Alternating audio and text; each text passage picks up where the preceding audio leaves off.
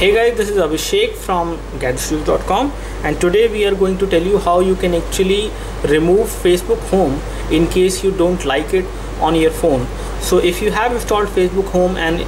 now you want to get rid of it or you want to just disable it if you don't want to even uninstall it, we will tell you how you can do that. So for this when whenever you are running Facebook Home, you need to press on the properties key or the settings key and then you need to go into Facebook Home settings over here and under Facebook home settings you have the option of turning off the Facebook home. And once you turn it off whenever you press the home button it will take you to the default launcher as whenever you turn on your phone the Facebook home won't appear. So this is how you can actually disable Facebook home in case you don't want to